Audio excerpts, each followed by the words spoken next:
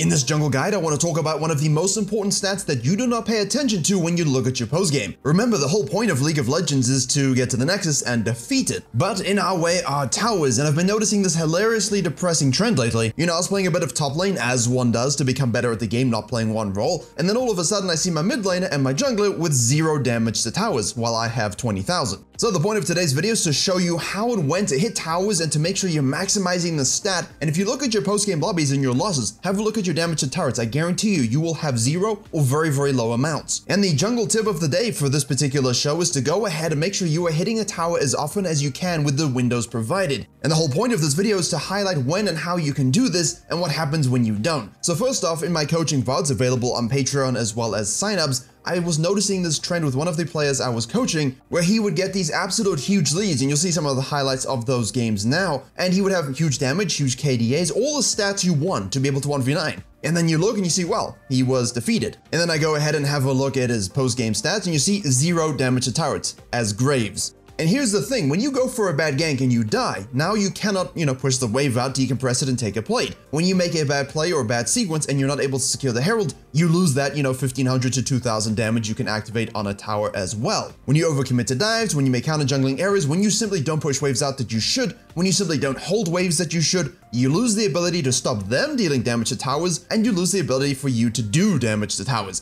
And this metric is the most important thing that you need to focus on in jungling in the current meta. Pushing the map means hitting towers, taking towers, and getting closer to the nexus as frequently as you can. I mean, why is Babu so legendary at playing Sion in that way? Because he does a hell of a lot of damage to towers. Why is Hellbreaker so OP and broken at the moment? Because it makes you do a lot of damage to towers. The question isn't always how do I do damage to towers, although we will cover that in this video. It's why do you do damage to towers? And even in losing game states, if you can create a pressure release valve by forcing rotations, as well as opening up the map for counter jungling, invades, and better vision control, you simply provide yourself the best opportunity to make the right plays to win the game. And you would have seen pop-ups of graphics when the Graves made bad plays and he didn't hit towers when he could have. And this has a snowball effect, a negative effect on your ability to carry games because you're not getting everything that you deserve for the way you've jungled. At the same time, if you're making these mistakes on your own, well, you don't really deserve to win. Despite your KDA, despite your damage, you can have the most gold. You can look at the post-game history and say, you know what? My teammates sucked. I should have been able to win this game. And then you go into the game and you see that, well, you could have done so much more just by hitting a couple towers. So I decided to go giga deep in research because obviously not all junglers are created the same. Not every jungle class can hit towers at the same capacity. Not every jungler, you know, is able to just rinse them doing whatever they want. It's the reason the new Rengar Q is so broken and why that's being nerfed. After 120 pages of replay research, I focus on a couple replays to show you exactly what I mean. Now in EU West, we didn't have quite the tower obsession that the Koreans have, but most of the Korean games where there were high KDAs, good wins either from behind or ahead, and I will link all the match histories to the games I'm going to cover in the description, they were doing damage to towers in the top 0.1% of their champion. So that means even if you're playing Evelynn, if you're playing Zac, if you're playing Sejuani, of course Rek'Sai, Rengar, you got your typical Graves and Kindreds, whatever champion you're playing, the goal is to do as much damage to towers as you can as your champion allows,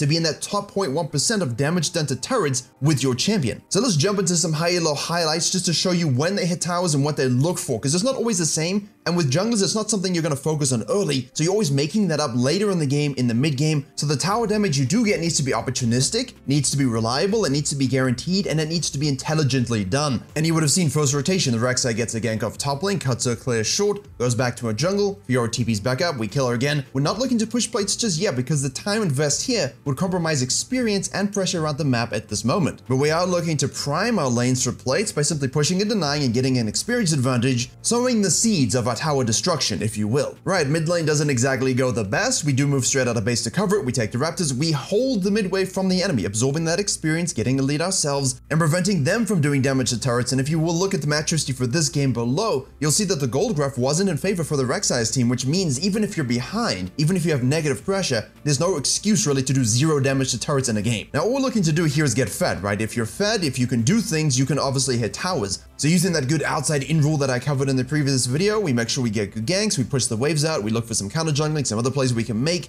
we reset again, and you'll notice no damage to turrets at this point, and that's quite common with certain junglers in the early game. You're looking to have high tempo, move around the map, yeah, maybe you've hit a plate once or twice, but really in the first 8 to 10 minutes, you're not exactly slapping the cheeks of the turret necessarily. We use that to make sure we can get a good invade using our Galio ultimate, we kill the enemy jungler, we secure the Herald, we probe the map a little bit more, and now we look for tower pressure somewhere, and of course if you watch that Herald vs Dragon video, you'll know exactly what I mean. In this case, we look for 2.5 to 3 plates, that's obviously in the mid wave, and we activate the Herald, boom, 1800 odd damage done to a turret. We move using that pressure to get counter jungling done on the top side of the map, we pressure top lane again, burn a flash, we do some Krugs, and we repeat gank. Now, this is where the tower damage really comes in. Of course, as I said, you might have hit some plates somewhere else in an earlier game when you're stronger. You might have hit the Herald in a different lane, so you've got, you know, 3k damage already. But the Rek'Sai is going to do more damage than anyone on her team, and she has a mid lane ADC and a bot lane ADC, and that tells you how much pressure she's going to have from this moment forward. And that's what I mean by pushing the map. Not something that's always activated early, but from the later stages of the early game into the mid game into the late game, are you hitting the towers when you should? Are you spanking those plates when you need to? In this case, we take whatever plates we can while the Fiora TPs. We know the Graves is on the bottom side, so it's definitely something we're looking to do.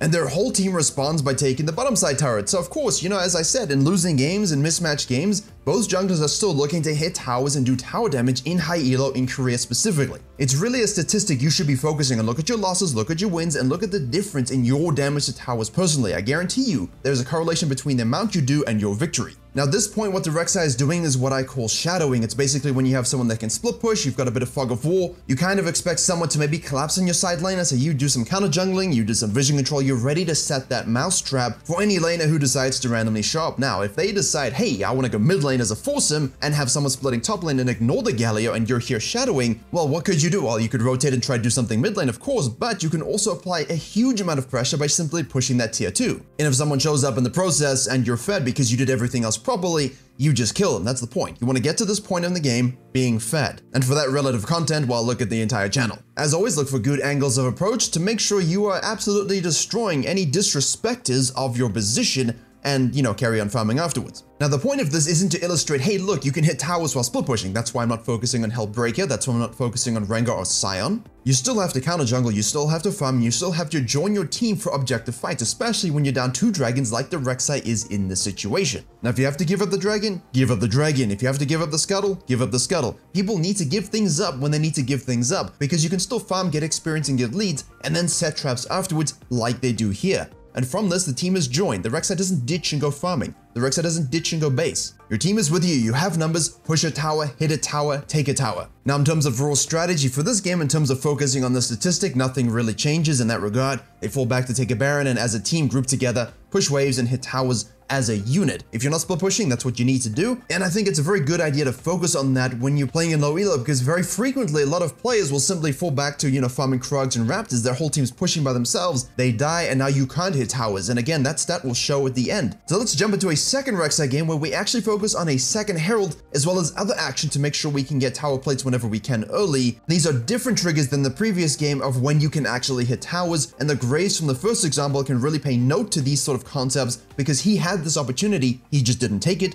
or he, you know, face planted and died. In this game, we have a different scenario. Obviously, first blood nonsense and shenanigans early, but Lee Sin gets a kill, which means he has a longsword in the first rotation, which is hugely valuable. Do not deny this. However, Rex is able to have a good clear, look for a gank in the top lane. They win a 2v2 back to base. And again, similar plays, but different player and different concepts in terms of when we hit towers. But the one thing that is consistent is they don't hit it in these first couple of rotations. But good shadowing, good counter ganks, good bottom lane dives, good counter jungling, good vision control, making sure you have the lead enough such that when it is time to go smack some towers, we are primed, juiced, and loaded up on itemization. Now, another thing to think about as you're watching the Rek'Sai do some more bonking and getting a dragon afterwards is kill conversion ratio, making sure that when you get kills and have numbers advantage, you are taking objectives. So in the event you do this in a lane, hit a tower. In the event you do this in the river, take a dragon. If there's nothing else up and everyone is dead, push waves and again, take a tower, hit some plates before you fall back to farming your jungle camps. Now once more, we are looking to use the Herald as our first initial play, the first tower damage, the first secure, elevating the game state. It's a fast-paced game, but sometimes it's very important to hold before you release a slingshot. So after Herald, a nice dive on the Gnar, we kill him. We now push multiple plates before getting it down to two and a half, three so that we can activate the Herald. And yes, like the previous game, that was the first situation where we went ahead and deliberately had a tower. Obviously, you can smack a plate earlier, as I said, but you don't want to waste too much time early trying to hit one or two plates, even though it's easier. You can give that solo to your laners if possible, and when you do that too much, you're opening it up for enemy junglers to counter jungle you, hit equal and opposite plates, plays, and maybe even get a couple plates themselves while hurting your laners. So think deeply about tempo and when it's appropriate to hit those out of plates early, or simply waiting for that maximum Herald play. But that's just your pre-10 minute Herald bonk, you know, that's not going to give you the 5 to 10,000 or plus of tower damage that we're really talking about in this particular video. Another good opportunity is when laners, you know, make good plays or there's a diveable lane in the mid lane or the bottom lane afterwards, use that pre-14 to just go bonk a plate even if you didn't necessarily affect the gank or the kill. Ideally we do, but if you can simply push them away and help take a plate or two with your mid laner, that's good tower damage, that's good gold income for both of you, that denies a wave, and now you can carry on about your business. In essence, I guess stop jungling like an ostrich ostrich. Stop AFK farming and looking down. Look up, use your F keys, click on the map. What towers can I hit today while also ganking a lane? Careful not to overstay, make sure you make the plays you can. If the enemy team is not going to rotate and yours is, you have numbers. If the enemy team does rotate and yours don't, you don't have the numbers. Play the coin flip in terms of how fed you are, know your champion, know your limitations. But the goal is, as you can see from the speed run now, this is very important, we're controlling the bottom side where the objective is. There's no Herald currently. We're making sure we control our camps, try and steal his. We're pushing the map. And now you see the thing is, it's not always the damage you physically do yourself, it's the damage that you allow to happen by doing these kinds of plays, this kind of pushing the map jungling. If I'm controlling this, forcing rotations, pushing the enemy jungler out, forcing them to send two or three to me, my ADCs and other laners can simply hit the towers as they want, Go and deposit those coins with Boris and of course get stronger itemization, and in lower elo games when you do this simply by letting them hit the towers themselves, they get maximum stat checking, and in low elo, that's all they're doing, right? They're stat checking each other, so why not give them the best opportunity to do that with some free money by applying pressure? So yes, you don't get credit for the indirect tower hits that you grunt, but it is something to think about when you think about this video as a core concept. As we enter these mid-game phases, what we had in the last game with Volibear just could not do anything was because he didn't do this. He didn't focus on hitting towers, he didn't focus on drive-buying lanes that are push, and just hitting it a few times to make sure we can secure it. Rek'Sai does that, uses the lead, uses the map pressure that they have to get into their jungle, good angle of approach, help Jinx finish the mid lane tower, we open the map up even more for ourselves. Now, to kind of bring this full circle, as the first example showed, the enemy Graves didn't do the right place to hit towers, but let's fast forward that game a little bit. Look at the Graves here. Flanking, trying to be an assassin, not focused on the tower whatsoever. The teammate plays, had numbers advantage, and he decided to sit in a bush and try to flank for kills. Look at the Rek'Sai in a very similar situation. We make plays because they overcommit, we have numbers advantages, we're able to push the mid lane, I'm going to join my team and hit a tower. And if you happen to be a high AD threat, it's absolutely huge that you do this. Rek'Sai being able to be procced on turrets was one of the best buffs she ever got, and this is why. This is why it's so good, but if you don't do this, you're wasting basically part of her kit. And Graves is just Graves. And now to close this video off, I think we need to talk about the second Herald, and I don't know why this is purely ignored and memed. Why? Who started this meme that this is a terrible objective? I'm sorry I killed you guys again, farmed your whole jungle, have a 2-3 level lead, and now there's a Herald that I can take that helps me push even more towers, or even sync up with the Baron. No, but I read and I saw on the internet that the Emperor did nothing wrong 42069 triple X told me that the second Herald is a meme, so I didn't take it. Come now, my friends, you can use it with the Baron if you want. You can simply use it as a split pusher if you happen to be that way inclined. You can be a Shyvana, a Diana, and your team sucks. Hey, Take the second Herald and use it to split push while they kill your team. They're not going to do the Baron here, and even if they do, they're going to lose an inhib. It's a great way to kind of offset negative plays when your team are a bunch of dodos. In this case, you can use it to help your team push while you secure an objective and then rejoin them because again, you have a huge lead, and let's face it, even your little voidling eggs as Rek'Sai could probably kill the enemy Lee Sin at this point. And now likewise, standardized macro, make sure you get the Baron and push out the rest of the map, don't go farming, be with your team, yada yada, same old spiel that I've given you for a very long time. And again, the match histories to this will be linked below, plus a few others that I found showing you the top 0.1% of damage with their champions and how that impacted the map and their ability to close quickly. This is what separates the Chad junglers from the junglers who dwell in swamps. If you did enjoy this video, make sure you hit like and of course think about subscribing because no one's subscribing and I kind of want to reach 200k just for a little bit of ego flex and to feel like I'm making an impact in this world. If you want to know how to actually use the Herald properly in these particular situations, click the video on the top right. If you want to know what the outside in rule is and how to actually jungle like a human being, click the link in the bottom left.